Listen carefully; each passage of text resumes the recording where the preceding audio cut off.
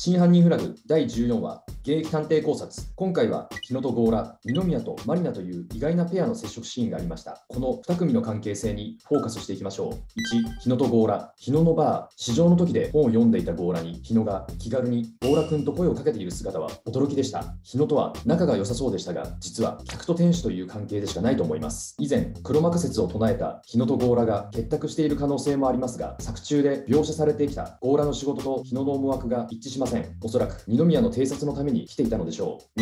2二宮とマリナ。二宮とマリナがサウナで話すシーン。ここも衝撃でした。一見二宮は怪しく見えてしまいますが実はこれもミスリードです。事件の鍵を握る林に一番近かったマリナから情報を得ようと接触するのはよく考えると不思議なことではありません。